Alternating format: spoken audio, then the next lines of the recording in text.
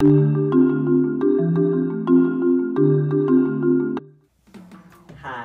I'm Mia Poppe, founding attorney of the law firm of Shaw & Associates.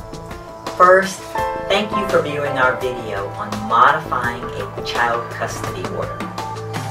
I help clients just like you who are seeking to modify a child custody order or who are struggling with other family law issues.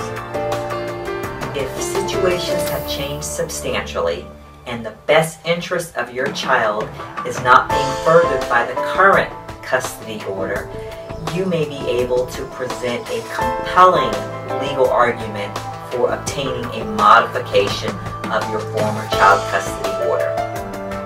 Also, if the custodial parent is demonstrating a pattern of actions which tend to alienate you from your child, that custodial parent may be deemed unfit per se to be the custodial parent and a modification may be the remedy that you might be able to obtain.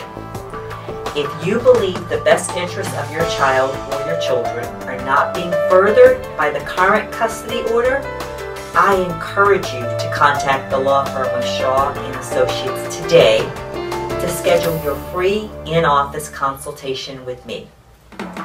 Please call the firm today at 212-792-9501. Mia Poppe, the law firm of Shaw and Associates, relentless advocacy.